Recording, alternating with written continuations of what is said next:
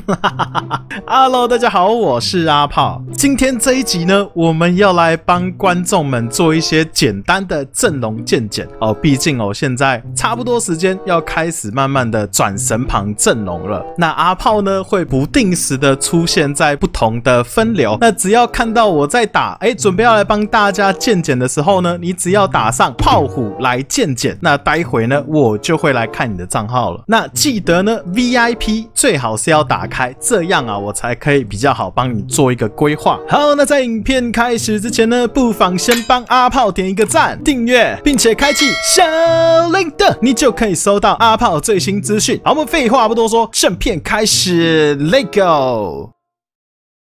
哎，不知道大家准备好了没有？炮虎呢，准备要进来啦。好，我们先来看一下第一位观众，就是杨轩的阵容。哇靠，一千八百万战力 V 十二，哎，哇，这个玩家玩的感觉就蛮不错的啊。好，那我们来看一下他的阵容。哇，他已经六只十三星已经突破了。那像在这一边呢，阿炮就比较推荐，如果以后神旁练出来之后，是可以把蜀关下去的。然后这这样。呢，以后要转成这武神阵呢，也是比较方便哦。那等以后神柱龙出来之后呢，可以结义魔关或者是结义神造都是 OK 的。那结义这两只呢，其实各有它的优缺点。好，再来我们来看一下第二位玩家望川秋水，哇，也是 V 十二玩家，战力一千两百四十六万。那他这个阵容基本上已经算是蛮齐全的了，就是等神柱龙之后，然后用魔关去结义就 OK 了。好，再我们来看一下下面宇智波巡练，难道你也是宇智波一族？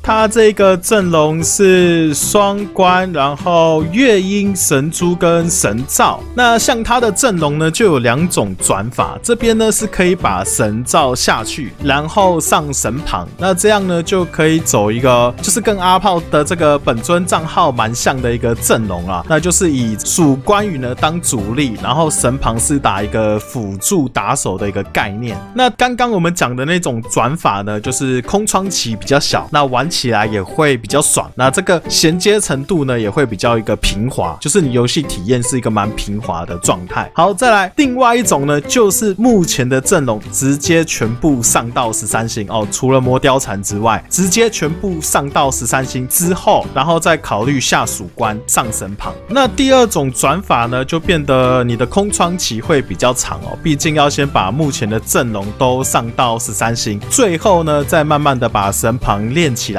然后取代蜀关的位置。至于说月鹰的部分呢，因为它是 V 八，阿炮是推荐说可以上到十三星了哦。毕竟如果要直接玩神华的话，这个空窗期哦就又会更长了。好，再来我们来看一下下面一位，哎，我们下面一位是神珠一直来，哇，他把蘑菇加练到十二星了，应该已经直接氪到十三星了吧？现在应该就是缺一些关内喉音或者是肥料。好，再我们来看一下他的第六只是谁？哦，神刘备。那像这个阵容呢，就是打手有点多。那有两种走法，如果要上神旁的话，就可以下神造或者是下张辽。哎，不对不对，他有三只打手哎。那阿炮呢是可以建议说，神造先下去，然后先练一只神华起来，然后呢等神旁练好之后，再把张辽下去，然后换成神旁。最后呢就是以魔锅家为主力打手，然后神旁为辅助打手的一个概念。好，再我们来看下。面一位，下面一位，哎，换谁啦？E K B 哦，他这边是练了属猪神造神旁魔关，还有神诸葛。哦，那像这个阵容呢，也是有两种转法。第一种转法呢，就是你可以先练一只十三星的神华陀起来，然后取代魔关羽，然后等神祝龙出来之后呢，再把属猪下去，就可以转成一个武神阵。不过呢，这空窗期是有一点长，就变成说你可能会有一阵子打起来都比较没有那么。舒服哦。那另外一种转法呢，就是神魔混搭，那就是等说神华陀起来之后呢，就把神罩下去，然后呢，等这一个神柱龙出来之后，就可以来取代属猪的位置。哦，那这个好处就是说你在前面就会玩的比较爽，就是空窗期会比较短。那只是呢，你要转成武神阵，就要等你神州出来之后取代魔关羽，或者是直接等香香哦，那会是更好的选择。然后再来，我们来看。看下面一位玩家改名没小用啊，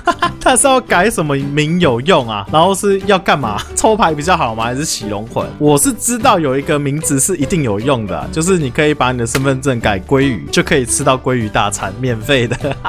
好，我们来看一下他的阵容，这边有张辽跟神旁魔关神珠，还有神华佗。哎，那这个等神华佗练好，然后神珠练好，这个陆逊其实就可以开始退役了。那这个阵容呢，本身就已经蛮好的。那等之后神助龙出来，就可以考虑把张辽下去，然后最后呢，就看你要不要练神州，或者是等香香来取代魔关的位置。那这位玩家呢，我希望这个问题我可以得到解答。你想要改什么名？啊。哈哈哈好，再来我们来看一下，猜猜我是谁？我怎么知道你是谁啊？那我们来看一下他的阵容，他的阵容应该就是典型的五国阵。那这边比较可惜的是没有魔关羽。那张辽配上魔雕，我是觉得有一点不太搭啦。毕竟哦，通常要玩张辽这种猛将的，就是要打爆发，打第一回合跟第二回合，所以魔雕的将攻我觉得是比较不搭。这边换上魔关羽的话会更好。那我们刚刚讲的这个换法呢，就是。现在爽哦，玩起来会比较爽啊。那也可以呢，就是把这个阵容全部都上到十三星，最后呢再练一只神旁起来取代张辽的位置，就可以走一个极限四保一神旁。那以他这个 V 度，阿炮觉得这两种玩法是比较推荐的，因为只都只要养一只打手。好在另外一种呢，就是把属猪下去，然后直接上神旁，就是其他都先上到十三星神猪，然后月。夜莺、张辽、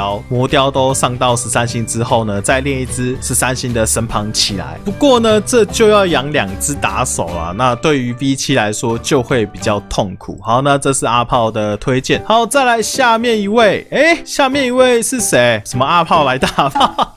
好，再来我们来看一下，下面一位是欧皇圆圆。哇，V 零五百三十八万战力耶！现在的无科玩家都这么猛的吗？那像他的阵。容呢也是有两种啦，一种就是现在爽啊，如果要现在爽的话，就是下神照，然后上一个魔关，就可以走双珠双关月鹰。那这个阵容我觉得平民直接练到底就是蛮够，可以玩很久。那在另外一种模式呢，就是直接上神旁，那就是先把这一个阵容练到底啦，都练到十三星，到时候下蜀关，然后上神旁。那当然你也可以直接下蜀关，然后现在就上神旁，只不过呢这空窗。期啊，就会特别特别的久，特别特别的长，那就看你自己个人的爱好。好，再来我们来看一下下面一位，哇，玄大来了，还好他没有打炮虎来见见，他这个 level 太高，我不太能见见哦。那不然我们来偷窥一下好了，五千两百万的战力，哇靠，有点狂啊！那以玄大的这个财力呢，应该就不太需要走武神了。或许说把这个神华陀换成小乔，直接打一波流，打一个速度碾压的秒杀流。好，再来我们来去看一下，还有没有其他需要渐减的玩家？哎，我先看一下上面好了，上面我们刚刚是渐减到这个演员嘛。好，再我们再往下看，这边还有一个烈女怕。大馋狼。